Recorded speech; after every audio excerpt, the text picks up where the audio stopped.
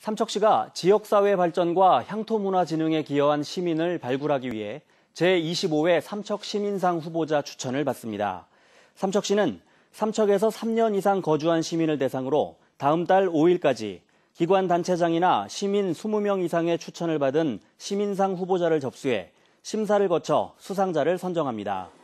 삼척시는 심사위원회 심사를 거쳐 대상 1명과 본상 3명을 선정해 시민의 날 행사 때 시상합니다.